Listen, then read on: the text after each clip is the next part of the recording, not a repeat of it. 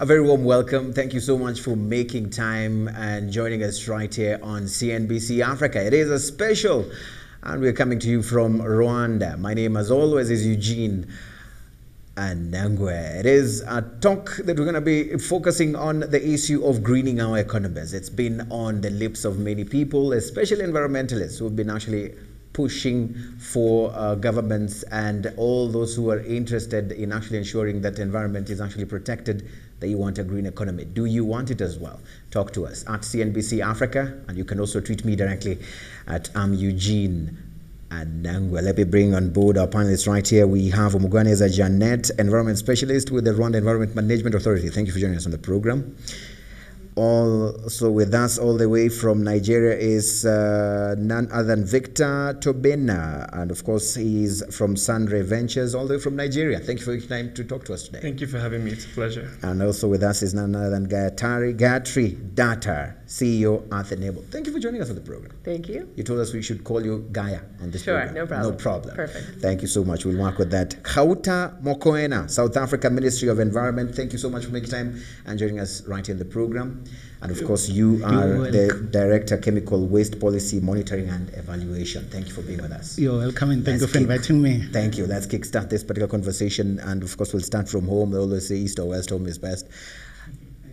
This issue of going green, what do we mean when we say we want to go green as our economies are concerned, as far as the economies are concerned? Okay, thank you so much. Uh, green, yes, that's a good question because sometimes when you say green, people expect trees around. And uh, it's not just trees, it's not planting trees, it's green. Being green is starting, it's a lifestyle. For any anything that we do or we use, we, I mean, anything surrounding us Yeah. can be greened if we want. Yeah. It's just a matter of commitment and the will for people to do. Starting from our household, you can green your home. You can green your home starting. Uh, you can have your lights uh, saving bulbs mm. that would cut off how much electricity you use. Mm. You are being green. You can use cut on the how much water you use you consume at your household level. You are being green. You can. Uh, I mean, so many things that you can do. So mm. it's part of our life. It's it's a I call it a lifestyle. It's, a lifestyle. It's a lifestyle. It's a lifestyle. Victor, so from Nigeria, where you come from, how are the people back there getting plugged into this lifestyle of going green? I mean, it's a process. Mm-hmm. It's a process. It's definitely one that has been on for a while. But I think the, what's the word to use? There's a huge momentum and a huge push towards it now. Mm-hmm. Because people are slowly realizing without this, there may be no future. Mm-hmm. So essentially, now people are trying to adapt a lifestyle at homes, Yeah. at their businesses, thinking of little ways to start the contributions from them, mm-hmm. be it your personal carbon footprint to the carbon footprint of the companies you work for, Yeah. or even the processes. Like, for example, you see some farms that are now trying to look into biogas, mm-hmm. because essentially the waste coming from their crop, or let's say a poultry farm, the waste you're not doing anything with it. Mm. It could be used as fertilizer. Mm. Some of those waste could go into biogas to then power your facility. And what are you doing then? You're saving cost and you're helping the environment. Mm. So people are slowly realizing that going green is the way forward to preserve the environment. And also there could be a financial aspect to it. Whereas going green is not expensive. Yeah. You could actually have cost savings by going green. So then, even the people that may not be too big on environment, mm. once they hear you can save me money at home in the office, mm.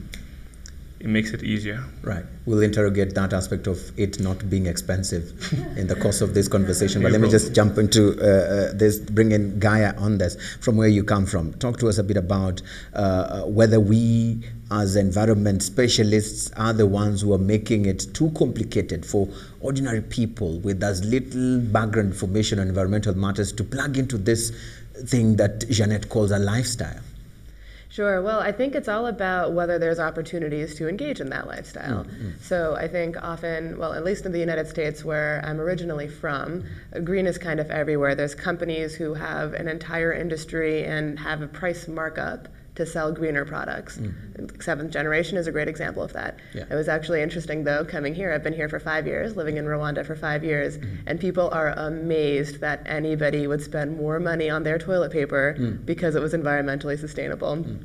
And I think partially is that there doesn't really seem to be a market there yet for it, and that's partially just because maybe awareness is um, not yet hasn't yet caught up. Yeah. Um, I will be honest and say I think it's a small segment of the population in the United States that uh, really is willing to spend more money to be green. Right. And so, but I think what you said is exactly right. There are opportunities where it can be cheaper, Mm. um, but I believe that there's other externalities at play from polluting the environment that are not priced into existing products that are unsustainable. Right. And that will, I think, continue to hold back the process Right. of greening. And, and so that means we need to actually um, create awareness so that people can be able to see those opportunities uh, that are, are available with going green. Kgauta in South Africa. Talk to us a bit about what is going on back there as far as greening the South African economy is concerned.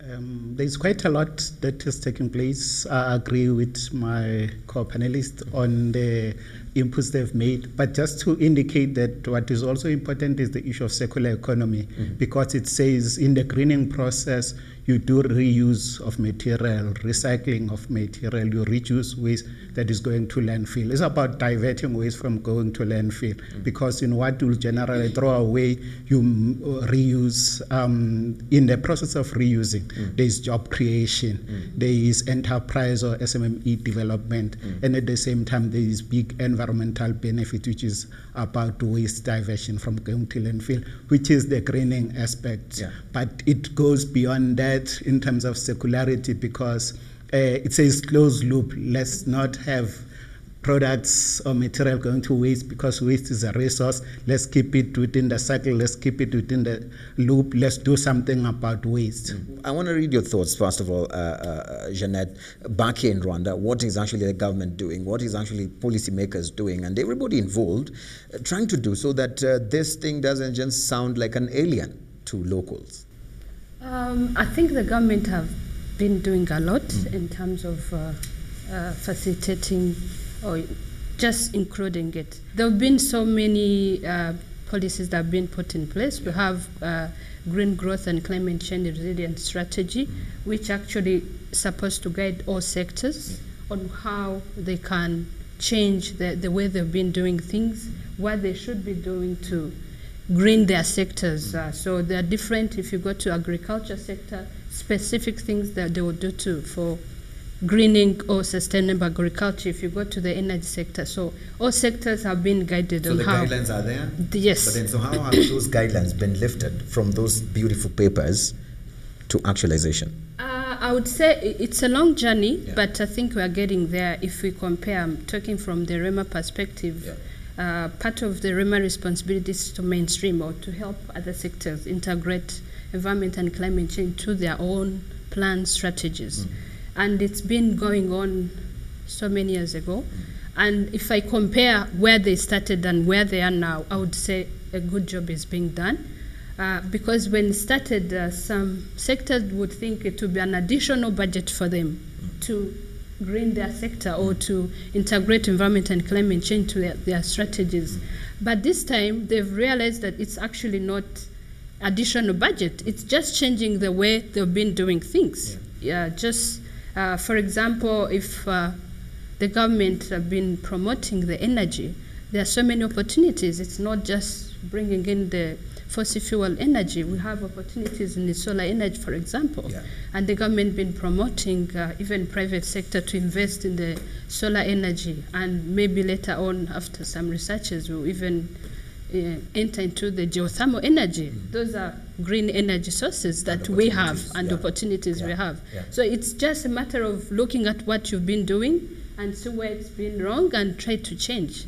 So that's why when I started, I said it's a matter of at household level, it's a it's a lifestyle. It's a lifestyle. It's just changing your lifestyle. So even from the government perspective, it's changing. Uh, we always tell our stakeholders that because we usually have different workshops and trainings with them, that we are not telling you to just come up with different things. It's just you to change how you've been doing things. For example, if you're going to construct a road, just make sure the road you're going to construct for it to be sustainable enough. Sustainable means for it to stay for longer, not just uh, investing how many billions in the road and then after five months when it rains, It's not there. the, wa- the water you know, rushes out the, the whole road. You just have to maintain where am I going to have the water? Yeah. Where will the water pass? Yeah. Uh, can I plant trees on the road, at least even to capture the carbon from the uh, emissions, the car emissions that will be passing on that road? So it's it's a normal thing, and uh, planting trees is not something that you would need a big investment. I think uh, it's something that anyone can do. anyone can do. Yeah. So Jeanette, I, I want to put you on the spot a bit. Uh, allow me to do so. I don't know if you will, but it's a difficult one. Yes. You've really responded really well on what the government is doing to actually ensure that uh, this greening uh, of our economies is actually uh, sustainable and, and, achievable. Yes. What is the government not doing? I would say that uh, I think in the past the involvement of private sector was not that much or visible, if I may call it that way. Uh, probably the government thought, you know, when the issue comes, it's like uh, when you have a home, an issue comes, as a head of the home, you feel like it's your responsibility to act quickly. Yeah. So the private sector was not involved that much, but now we've realized that without private sector involvement, Yeah. it will not be cannot be achieve achievable. So we're trying to see how private sector can be involved. Right. Fair Yes. enough. Let's Yeah. get to Victor here. Yeah. Victor, same Thank you. question. What is actually being done back in Nigeria and also by you, you as, as a young entrepreneur yourself to actually uh, support in this endeavor of greening uh, the economy of Nigeria, for instance? So I mean, let me start from the government side because that's a mm-hmm. little bit. That's I only have a little bit of information Yes. being private sector and all. Yes, yes. From the government, I mean, there are policies that are in place and they're trying to enforce, like the extended producer's responsibility, mm-hmm. which essentially uh, also ties in with the circular economy. It's mm. a way to get producers to pay a small levy for, in this case, electronic waste for the electronic devices or equipment that they, they bring into the country. And why is that? So basically, that levy can be used to support different e-waste recyclers in the country because that way there's more motivation for them to actually go for it because it could be an expensive process. Yeah. For my company, I work uh, I work with Sunray Ventures, a German Nigerian venture. We're, we're a venture builder and we set up companies with sustainability at the core. So it's basically a green company. So we think of ideas and we look for companies that meet our tripod. Three main things. Essentially, number one, it needs to be how do I put it? It has to have significant environmental impact. Number two, socioeconomic impact, so creation of jobs, improving the livelihood of people, being able to train the upcoming youth and everyone. And number three, economic returns, because it's still a company at the end of the day. So we, I, we try to think of ideas or companies that meet our tripod, and then we set companies up and run them. To date, we have two main flagship companies. There's Daystar Power and Green Compass Recycling. But my focus now will be on Daystar Power, which has made the most progress so far, which is a solar company, renewable energy. In this case, what do we try to do for greening our economy? In Nigeria, we have, I think the amount spent for power generation by generators is about 14 billion naira. No, 14 billion US dollars. Pardon my mistake. Essentially, we have identified that our economy cannot be built on the back of diesel and petrol generators. So essentially, what we try to do, we have small and mid-sized solar hybrid solutions that we provide to commercial clients and now in some rural areas as well. And what are we trying to do? Essentially, we're trying to reduce carbon emissions. We're trying to increase profitability of these companies. If you have an SME or a micro SME, a huge cost for them is power. And with having to rely on these generators, it makes it harder for them. It's harder for the economy to thrive. And now, so let me give you a good example with the banking industry. A typical bank, let's say they consume about 15,000 to 20, 25,000 liters of diesel every year. That's a lot. With our solutions, we're able to eliminate that. So basically, that equates to about 50 um, tons of CO2 in a year. And think of Nigeria where you have about 6,000 to 8,000 banking branches and up to 10,000 ATMs. So we're looking at us with this type of systems, you can potentially save over 250,000 tons of carbon emissions every year. Yeah. But this is this is this is this sounds amazing uh, when you when you, when you say it this way. Uh, but what I want to ask you, probably for you to share with our viewers, is is um, the process of actualizing that really great idea. That really sounds amazing. That sounds that wow, if we manage to do this, look at the amount uh, of lives we can save. Look at the amount of greening we can actually do. How far are you from actually reaching this? Are these banks taking in these ideas? Are, are, are people buying in? it's a process. Yeah. People are buying in. We've signed up some of the leading banks in Nigeria and in Africa generally. And apart from banks, we also operate in the agricultural space and the industrial space. Literally, almost any commercial clients we can serve based on the engineering um, behind it. So people are taking it in. It's just it's a process because of some factors that we need to account for. So, for example, in the past, I would say there has been the technical know-how hasn't always been there one and also as the years have gone by prices for these equipment have become more competitive so three four years ago i wouldn't be here talking about this because it was a different ball game but right now prices are competitive and people are slowly finding how to get this done so for us we found a way to combine everything we have good relationships with suppliers of this equipment we understand the environment. I mean, I'm Nigerian, I've been there for a while. Even our other co founders have been in the country for about 10, 15 years. So we understand the environment, we understand different industries, we know their needs. I can talk a lot about banking because my dad was a banker. Uh, one of the co founders was a banker as well. And I can easily tell you in a bank, one of their top two operating costs is human capital and power. That's just to give you an idea. So when we walk into a bank, we're trying to explain to them, we can save you cost we can now save you some of the stress you deal with. So let's let me break down some of the hassles. Sorry, I'm going to go on for a lot. Let me break down some of the hassles of dealing with a petrol or a diesel generator. You're dealing with the cost of acquisition, that's cost of capital that you could be using for something else. Yeah. You're dealing with procurement, trying to purchase diesel every week or every month. You're dealing with maintenance and then the inefficiency of a mechanical equipment. So when you break down all those costs and we tell them we have solutions where we're able to provide you clean, renewable energy, we're able to reduce your cost savings by up to 50, 20% of power costs. That's significant for them. We're able to give you control because we're giving you a one stop shop. In addition to giving you the equipment, we will run everything for you.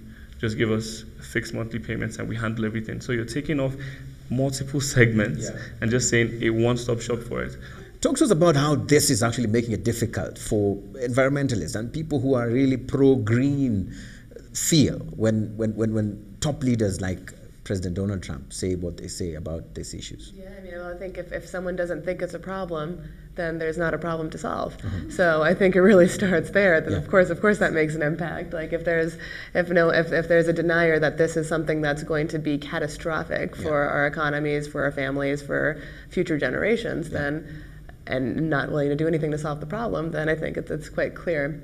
And the other thing is that um, really government does have a pretty critical role to play in this equation. Mm-hmm. And the reason for that is that it is the public that is going to bear most of those costs mm-hmm. of non action. Mm-hmm. So, for example, if you have a very polluting industry like the cement and concrete industry, I work in affordable floors that are much more sustainable than cement, so it's an industry I know well. Um, it it's responsible for 8% of global carbon emissions, 5 to 8%, depending on, um, depending on the report. And as a result, that means that there's air pollution, there's water pollution, there's going to be climate mitigation measures that we're going to have to take by building additional infrastructure mm-hmm, to mm-hmm. protect our families and our mm-hmm, communities. All of those are costs that someone is not now paying for when they purchase a bag of cement. Those are costs that the public is the one that's going to have to pay for later.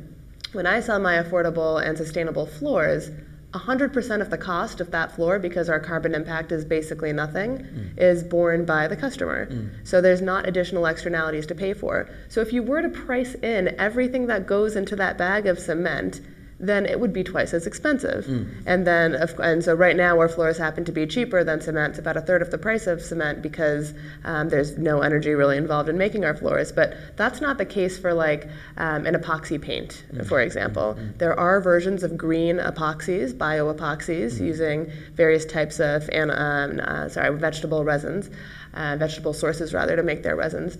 Super expensive though, so not quite cost competitive. They would be if there was a carbon tax Yeah. or if there was some way to price in all of those additional costs that will happen in the longer term. Right. That's when we'll become competitive. And with government inaction to do that, mm-hmm. there's no other body that could possibly impose that tax and really level the playing field for green businesses versus non-green businesses. Right. It's cash. It's actual money. It's mm. not just you know feel-good things about let's save our environment. It's Yeah. like there are real costs associated with inaction. Right. There's been always this perception that those are of higher costs compared to the traditional stuff that we've always been using.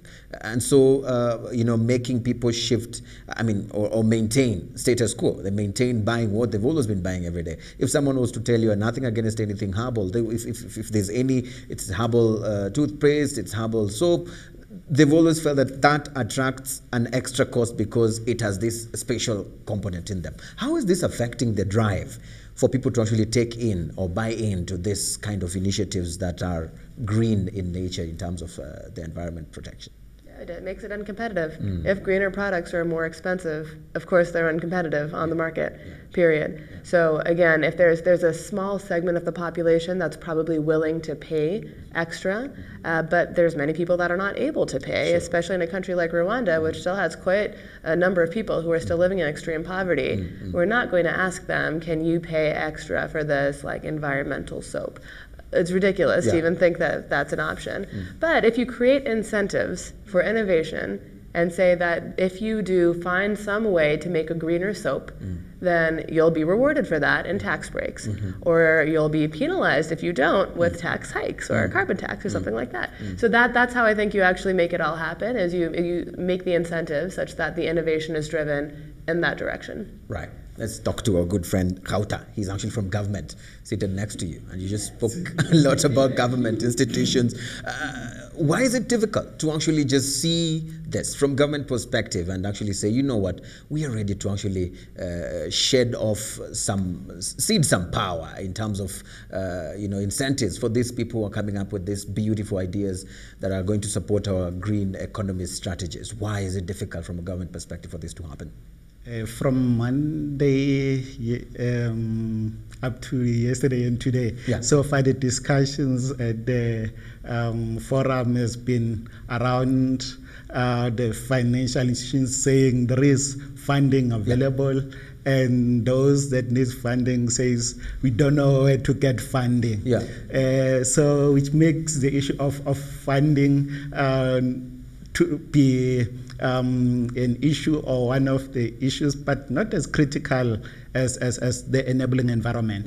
Because in terms of enabling environment, that's where government comes in, in terms of policies and legislation. For instance, in South Africa, we have the National Waste Management Strategy that uh, provides a framework, a policy framework for greening to take place. And at the same time, we have National Environmental Management Act, which talks to now in the waste sector, how do you enable the beneficiation of material Yeah. uh, from there Yeah. uh, in terms of waste, be it uh, plastic, paper, glass, etc., organic waste, depending on that, which people will be interested in recycling. For instance, research tells us that in a ton of, uh, of, of electronic waste, there is more gold um, than you'd find in the um, iron ore that you'll mine from a particular mine. So it means there's more opportunities in waste recycling in terms of economic contribution, uh, job creation, and at the same time uh, for participation by everyone because uh, there, there, there- there is a resource out there that we normally don't see as a resource. Now that you it. know that that resource is there, Yeah. how much of seeing and acting to actually provide opportunities have you done in South Africa, for example? Um, last year, we hosted um, part of the presidential programs, what we called Operation Phakisa, Chemicals and Waste Economy, which talks about doing things fast. It's a programmatic approach that says um, specialists, uh, practitioners in waste, uh, government, civil society, academia, industry come to one room and look at key critical areas for interventions uh, uh, into challenges that can be turned into opportunities. Yeah. So we've identified a number of opportunities for economic contribution, growth, but also enterprise development because that's where you can find the growth aspect coming into play more generally from what will be known as environmental protection. Yeah. But we're seeing growth, we're seeing economic contribution from that as well. Right. So what what I mean most most people feel that probably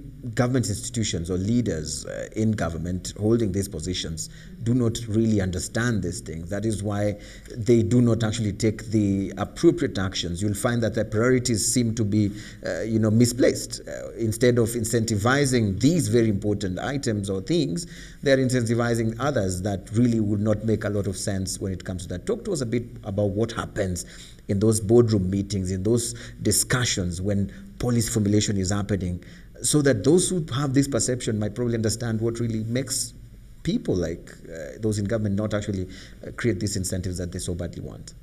Uh, thank you so much. Actually, uh, like I mentioned, you, you asked me before, what is the government have been not doing, what they've been not doing. Uh, uh, like I mentioned, I think uh, at the start, the government was trying to put up policies and you know strategies to see how this can be achieved. Uh, but now realize that it will not be achieved without involvement of private sector. Yeah. So the move is going now towards the private sector, and a lot of things are, are happening. Uh, for example, if you look at the, the, the, the, the industrial sectors, they've been put a program, the cleaner production program, which is supposed to help uh, the industries on how to shift from you know, uh, non-green industries to green industries.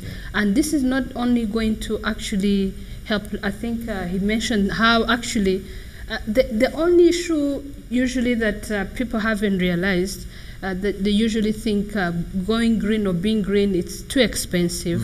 Sometimes, yes, the upfront uh, uh, cost or the capital is high, but at the end, you, you really get a big return. So, from the government perspective, actually, we have a fund like a green fund FONERWA. Uh, it has different windows. It has one window is for private sector. Yeah. So it uh, from the side it can either give you a, a grantee depending on how the project is, the innovation that involves, uh, how much impact it's, the, your project or your idea is going to create, uh, also contribute to the economy of the country, or it comes in as a credit, as from the credit line at a very low interest rate. So there's interest, uh, sorry, there are interest, there are very many opportunities that government have been putting in place, but probably the private sector are not yet there. Yes, I would say, I think if you ask FONERWA, so far they've dispersed around, I don't know if it's uh, probably around 5% of what they're supposed to give to private sector. This But is it- because people are not actually coming to apply for this. Yes, people are not trying to, you know, they are not looking uh, out for the opportunities. Yeah. And I think uh, that what they are trying to do is to raise awareness for people to know that there are so many opportunities around. Yeah. Uh, if you attended some of the sessions or the forums that happened, are different, not even a local, you know, institutions or funds that would help, but if there are even some of international uh, funds Mm. Yeah. that every country has the opportunity that they can tap in as an opportunity from different areas. Yeah. So, from the government perspective, uh, they're trying to see, uh, for example, a new environmental policy that it will being uh, you know developed that probably in a few months will be uh, approved and gazetted. Uh, trying to see how to, in a way of discouraging uh, non-green, for example, for because we realize that uh, uh, some of the uh, economic uh, activities that are happening, people are not really ready to shift because they think this is cheap. But when the government looks on the other side, the infa- impact or the consequences that will come after, it will be costly than what is being, you know, Put up. put up right time. now. Yeah, yeah. So some of the, the, the taxes will be imposed Yeah. on some of the products so that they So can that discourage and then also um, encourage some of the products. For example, if some of the solar equipments are tax exempted, Mm-hmm, I think. Uh, so it's it's a way of encouraging people to start, you know, Adapting looking this new- adapting news. new So there are different opportunities coming up. And I think the government has started involving the private sector. Yes, they've been, but trying to see if They Even the private sector is ready to move where they are to, to shift to the next, Yeah. yeah, into a different perspective Right, because Victor. they've been thinking it's too expensive. It's too expensive. I want Yeah. to hear from Victor how he feels. Uh, talk to me about uh, that paradigm shift that is needed for private sector to even start coming in to finance uh, these kind of green projects that people are coming up with today. I mean, I think it starts with building trust between the public sector and private sector. Which how is that trust going to be built by working together more? A lot of times you see public sector trying to, like she said, be the head of the house and just handle everything themselves. But you need to. I think now that shift is, is there where they're actually realizing we need the support of the private sector. So we need to see governments deliberately uh, getting hands off certain things so that they leave private sector to come in there. Uh, the best way to phrase it would be more of creating an enabling environment for the current private sector and then for more people to actually join the private sector. When you create that enabling environment, it makes it perfect. So for our company, Sunray Ventures, especially with Daystar Power, when I don't I don't think we want to take over every bank in Nigeria. Part of our obligations that we impact we put on ourselves essentially is to try to foster an environment whereas other players can join the market as well. Mm-hmm. Because at the end of the day one of the main goals in our tripod is environmental impact. Mm-hmm. So i do see what you mean whereas you have cases where a private sector company is only focused about its pro- its own profitability. Mm-hmm. And i do agree that you that may be the case but at least in our company what we try to do is apart from do our own job in terms of reducing carbon emissions, promoting renewable energy options, e-waste recycling. We also try to create an enabling environment the little way we can. Obviously, public sector has a better job of doing that, but how do we create an enabling environment? One, awareness. Mm. We create and try to host events to let people know these are the available options. These are companies that are doing it. For example, us, and this is our success rate. This is how it works. Yeah. Another t- another option or another way we get it done is success. The more we get things done, the more trust is built and is seen in the public sector. So when the public sector can actually see private sector companies getting it done, then they are more incent- incentivized Yeah. to actually support them because they see, okay, these guys are actually real players. And so we can actually give them more support. Exactly. And thirdly is about the hustle. It's plain and simple the hustle. Hmm. Being aggressive in how you get things done. Hmm, hmm. So for example, you can sit down and complain from now to tomorrow about the public sector's contribution. You can complain about all the issues that are there. It's always going to be tough. It's always going to be challenging. Okay, so we're going to take a very short break right about now. When we come back, we have that conversation moving forward on the issue of greening our economies. How possible is this? What needs to be done? Is this just talk and no action? Will we do it as governments? Is your government actually working on that? Talk to us at CNBC Africa or at I'm Eugene Anangwe. We'll see you on the other side of the break. Stay with us.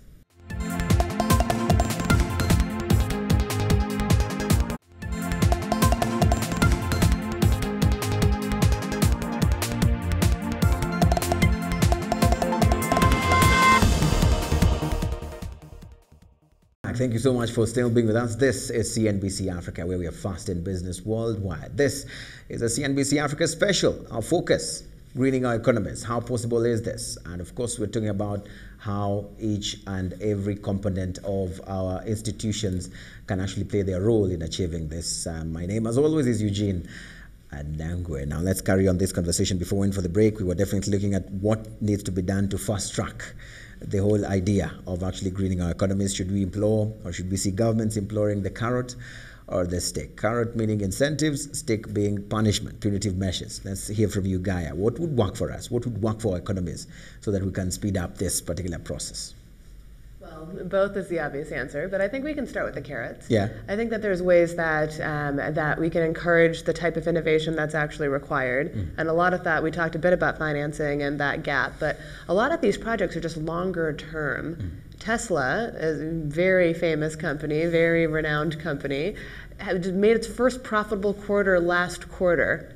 And I think they started in 20, 2003. Mm-hmm. So it's been 15 years, and Tesla just had a profitable quarter now. Mm. So sometimes it just takes some time to create the new normal, Mm. and sometimes it just takes time for this innovation to actually catch up. Mm. And the, it's not just even about the product innovation. A lot of these things require brand new business models that have never been done. At Earth Enable, my company, we've literally had five business models in the last four years. Yeah. Just because in order One to doesn't figure, work, another one has to be actually. Exactly. So you just have to, that also requires time. that requires, you know, so things like grants. Like I love the fact that FONERWA gives the private sector grants. Mm. That is not that, that's a novel concept. And when you think about it, like why would you give a why would you subsidize someone else's returns later? Yeah. Exactly for this reason. Mm-hmm. So give them the carrots, see what happens, and then I think there probably will come a time. I personally believe we're a little too late, to be honest. Mm. I'm curious about how the government people feel about this, Mm-hmm. uh, but um, I, I believe it's too late. I believe that, especially with the new reports that have just come out in the past few weeks, Yeah. it's a much worse situation than we realized. Right. Um, and that that information now needs to result in quicker action. Yes. Otherwise, we'll all really be in trouble. Right, Kgauta, very true, because we don't seem to have much time left uh, uh, to actually implement this particular uh, one of the SDG goals. 2030 is just peeping at us around the corner, and we don't have much time. On the two options, carrot and a stick, I'll say uh, we need a mix, we need both. Uh, for instance, in South Africa, previously when the plastic carrot bags were introduced, they used to be for free. But uh, over time, because they became flowers uh, that were all over on the trees, along the roads, and in the landfill sites um, for those that are licensed. So we introduced the levy such that when you go to the retailer, you're no longer getting it for free, but you pay for it. It serves as a deterrent from throwing away. It also encourages positive behavior and good mm. behavior and green behavior in that, as mm. opposed to throwing away, you keep it, you reuse your bag, you collect a few, take them to the supermarket next time when you go, because we know it's at the cost. Mm. There is time where you find that um, people get used to, uh, and with the increase in, in, in wealth, uh, they, they, they, they, they still throw away. So what government does is to intro, is to increase a bit that um, levy so that um, if it goes up, it serves as a deterrent. You Yeah. won't throw it again, Yeah. but you keep on uh, reusing. It encourages recycling. Yeah. Seeing that plastics is a problem that ends up in the oceans, water bodies, and get consumed by the um, uh, marine um, species, which ends up in, in our. Uh, bodies, unfortunately. So, so, so and mix is, is, is quite a positive one. And um, in that area as well, uh, compliance and enforcement is very important because whatever systems and policies that are there need Mm-hmm. Yeah. Mm. to be monitored. Uh, we need to ensure that there's compliance and the enforcement side to it. In South Africa, we have um, dedicated environmental inspectors to monitor um, environmental crimes and to take them further uh, through the necessary processes. On cases where the stick or stricter measures are supposed to be implemented. But uh, the issue of, of, of, awareness raising, Yeah. one can never overemphasize it. So hence we have developed what we call chemicals in our in waste strategy, awareness strategy, which has been adopted at presidential level, is now under the hashtag Thuma Mina programs. So it's now hashtag Thuma Mina Clean Green Deeds program, uh, where at presidential level the need for cleanups, which involves the public, Yeah. the community, has been uh, identified, and now everybody needs to follow suit and participate in the cleanups. And in that way, you're recovering the waste, you're recovering the material that will go as an input into the different production processes by small enterprises. By big companies who are doing waste recycling and hence contribute to recycling economy and greening of our economy. Perfect. If I may Yes, yes, that, yes. the stick or the carrot. Yes. Yes, I agree. It has to be both sides. Yes, you you have to encourage people and support where necessary as a government, Mm-hmm. but sometimes as a government, of course, being in charge of the whole, Mm-hmm. you know, population, there are certain decisions Pull you have to. at some point. Yes, Yeah. not hard one, but uh, yeah, to discourage, to discourage them. Right. Yeah. Of course, you know, Rwanda is a country that actually has been on the move in many, many aspects. It's a country that actually has risen from, from, from, from ashes, literally. The 1994 genocide against the Tutsis. This is a country that now wants to catch up with the rest of the world in its own unique way. And, and, and all of us are saying that we need to industrialize. And with industrialization comes the emissions. So, how is Rwanda actually sticking and staying grounded to actually follow the path of ensuring sustainability and ensuring that even if we're industrializing, it is green industrialization? What sort of tricks? What can the world learn from Rwanda in this line? It's hard to balance, I might say that. Uh, yes, we want the investors to come in and invest. We want to have as many as industries as we can.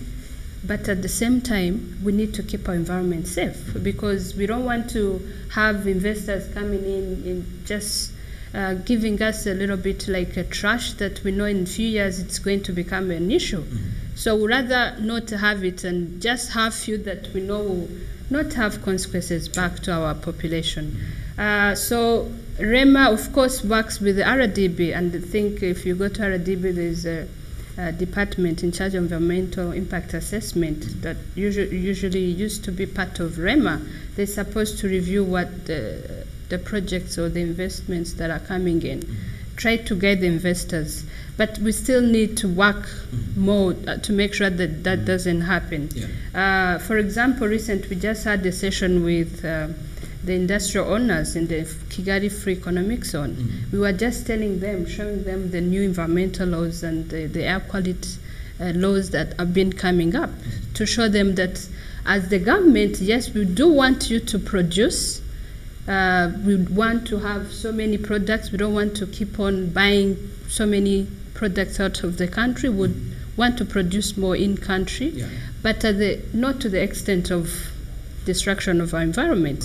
If somebody wants really to go green, the institution, REMA, not even REMA, if you go to RDB, there'll be at least people there to guide you. So at the end of the day, it affects, whatever affects environment, it Affects all of us. all of us and Right. directly it's not like it's something that would say oh to affect another person it comes to us Mm-hmm. directly so we you wouldn't support something that you know uh, five years down you know it will affect you back So what I'm know reading from what you're saying is that rules have been set, and and and actually uh, enforcement is is really key and strongly being strongly done uh, from the government. Uh, yes enforcement is it's a continuous Uh-huh. you know uh, there are usually people who usually want to pass Uh-huh. on the side and it's the role of the government to you know keep reminding those ones so that's why we usually have different forums with uh, you know private investors just to show them okay we, we really appreciate what you're doing but please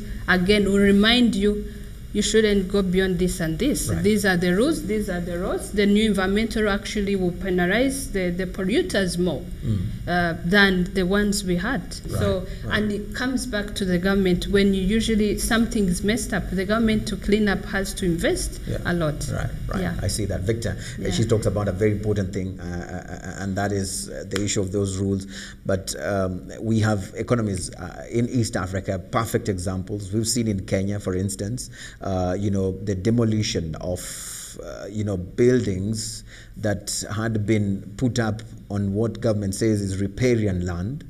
Um, we have seen or even heard it's on the record the president of Uganda just recently at the Blue Economy Conference in Nairobi telling uh, the public uh, or the people that he was actually addressing there that the government of Uganda, Uganda is literally bribing people who have actually in, uh, put up infrastructure on wetlands bribing them to leave nicely because we have to actually make them leave. These are things that are happening. And so talk to me a bit about role of governments in ensuring that these rules are not do not create room for corruption do not create room for you know more damage than uh, than this is, is expected. What should be done? How do we deal with this So to get your question right, mm-hmm. how can the government enforce it mm-hmm. at the same time minimize corruption? Yeah. corruption, corruption. so essentially, enforcement. There's no. How do I put it? Enforcement is enforcement. Yeah. If you set a rule, you have to enforce it. How do you enforce it? I think you enforce rules in two ways. One, by making sure the rules are being followed, and two, by actually penalizing people who don't follow it. So, to enforce some of the policies that are being set up, they may need to actually set up agencies to actually monitor or track these things down, or they may need to assign them to already existing agencies to actually go and monitor. Because if you set a rule, you try to implement it, and there's no one actually checking about, no one's going to follow it. And then if they find out you can check it and nothing's going to happen, or the penalty is really minimal, if there's no incentive there. So sometimes there's a lot of cases where you put policies and we want to believe everyone is just going to follow the new policy. Yeah. That's it. That's a perfect world. Unfortunately, we're not in a perfect world where sometimes you need to actually put um, penalties in place. So when you actually catch people with the agencies you've set up, so that's step one, people to actually go around checking it, and then step two, how do you punish them, or what's the penalty there for not doing it? So essentially, if they can focus on those two parts, that's how you see people obeying those policies you set up. In terms of corruption, the, it starts from within, it starts from each individual. Apart from the government, it starts with us actually not having the mindset where we feel we can just bribe right or do something else. We also ha- want to try to do the right thing. So I won't put it all on the government. In terms of the government, how they can try to minimize that is essentially who you put in power, who you put in charge of what. You get someone who's qualified for the role, because I mean the word qualified could be used loosely, but who's qualified Yeah, for the for the role you're role, giving yes, them? yes. Exactly. And then secondly, you look for someone who has character. Yeah. So essentially, if you have someone who's qualified, people would respect the person, or should because they should have a proven track record, and they can actually listen. they'll- You listen to them speak, you see them, you know that they know what they're talking about. You know you can trust them, and then if they have integrity or character, sometimes people may not try to actually be corrupt with them, or if they try and they see this person isn't budging, then they know. But once you have, They would never want to actually try. they'll never want to try. Right. And if you have someone, sorry, with integrity who, if they try, Yeah.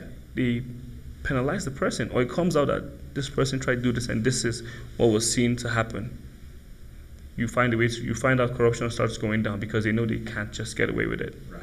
I think part of it is that it kind of feels like there's two sides. Like there's the environmentalist side mm. versus the mm, mm, profit side. And I think just trying to find ways that everyone can realize that we really are on the same team here, y'all. Like at the end of the day, your long term profits are going to be sacrificed.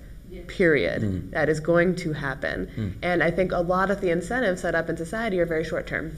And so, yeah, who cares if I pollute this, that, and whatever else? And who cares if there's an oil spill here because it'll be more expensive in the short term to clean that up. Hmm. But then, really understanding and quantifying and seeing how, in the long run, I think companies that get ahead this game are going to be so much better off because they're going to have an advantage. They're going to mm. have a fir- first mover's advantage. Mm. So, when those policies do come in place, because I do think this is going to become urgent Yeah. quickly, Yeah. and we're going to see it happening. We're already seeing it happen. 10,000 houses fell down in Rwanda mm. last rainy season from insane amounts of rain.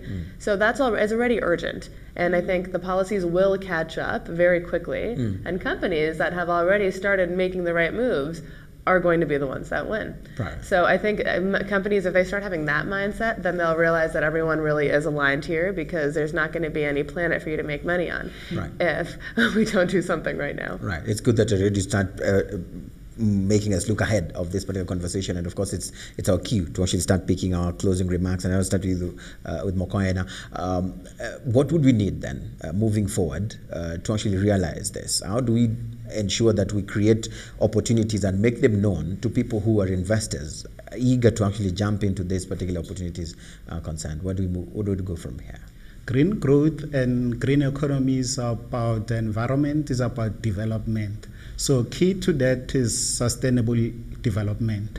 It's about the needs of the current generation without compromising the ability of future generations to take decisions on how they want to make a living Yeah. at that time. So whatever decision that you take now need to take cognizance of the fact that in future um, there will be a need for the generations at the time to look back and say those decision makers, those policy makers Yeah. make good decisions or not so good decisions. So, hence, it is very important to look at issues of socio-economic impact assessments on policy making on projects because, um, together with environmental impact assessment, you need to weigh the, the, the, the pros and cons, the positives and negatives of a particular decision um, on a particular project. Then, in that way, we are able to say, irrespective of whatever benefit that is being provided there, if the future benefits are less, we are able to, to balance the two, which, which, which makes it important to look at, at sustainability of a particular project and at the same time globally to say what our contribution Yeah. and commitment to global treaties Yeah. um, such that as part of our greening process and that smaller and regional project is able to help us achieve, uh, achieve our um, objectives and commitments, for instance, on climate change, on sustainable development. We talk to uh, sustainable development goals, uh, which are very important, largely because all stakeholders needs to play a role. Industry, um, government, civil society, uh, we all need to be part of this for greening to take place and green growth, together with circular economy and extended res- producer responsibility to take place. Right. Uh, Jeannette, you had the honors of starting, opening. I want to give you the honors of actually closing this. uh, the the whole of this achieving the green economy or green growth it's it's it's a commitment of everyone. It's a commitment of every player that is involved. Uh, but it, it has to start with you. So if you don't start it the next person will say okay he's not doing it or she's not doing it so i'm not doing it. So i think from the rwanda perspective as a country as a responsible country that is responsible for its uh, population they are ready to do it and then without looking what others are doing. So you do your part and wait for others to do. And uh, in this world we are in, it's about partnerships. And uh, like he mentioned, the SDGs, they encourage partnership, government, private sector, continents. That's why you saw like uh, African trying to encourage African countries coming together to to achieve the green Africa that the communities in Africa would want to have. We don't want to have our future generation, grand grandchildren complaining like our grand grandparents were irresponsible. So it starts with the government, of course. It has to commit itself regardless of What the others others think. think. and others. Yeah, and it's not about headlines with whatever, because at the end of the day, we know the profit of it. Right. Yeah, and uh, from the airport example, I think uh, they explained to you it's it's going it's going to be cheaper. The cost of having the airport to be cheaper than the usual airport they would put up. So it's a profit on one side Yeah. to the government, and at the same time, we know there will be no threat to the communities of Rwanda. Right. Yeah. Janet, thank you so much for actually taking us home. I hope we are okay if, if, if she actually takes us home because that's all the time we had for this particular conversation. Uh, unless if you have something really burning you want to just throw in. Greening is safe to indicate that it's uh, for the environment. And while it's for environment, for community, and it's for economic development, another important part that you get as feedback Yeah. from industry and business people is not they are doing it because they are not doing it because they are forced. Yeah. They are not doing cleaner production and circular economy because they are forced or because the act says.